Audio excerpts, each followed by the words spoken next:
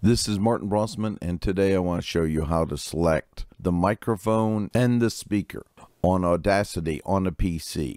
In an earlier video, I demonstrated on the Mac, and someone asked to see specifically how it's done on a PC. In the text below, you'll see a link to the other video. So at the top, you'll see File, Edit, Select. Under Edit, you select Preferences. Under Edit, you select Preferences. And then under Preferences, under here you select the device you want to play back, and then under here for recording. So you can select, take the mapping off of Microsoft or directly. So I have a Samson C03U microphone on a boom on this computer, and then you can select, you want to bring it in as monaural or stereo? Remember, if it's just text podcast you're editing, you might as well just bring it in under monaural and edit it.